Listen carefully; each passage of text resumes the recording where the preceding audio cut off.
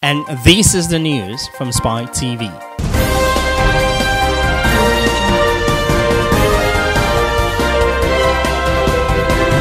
After the news about Yinka Ayefele's triplets with his wife Temitope in the United States, Spye TV crew spoke exclusively with the happiest father of triplets on earth.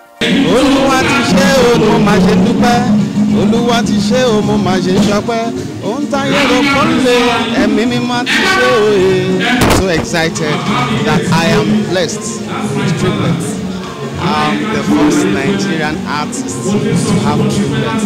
I'm so excited, I'm so happy, and I give glory to the Almighty God for this me. It should be noted that Yinka Ayefele is the first Nigerian musician to welcome a triplet. Congratulations.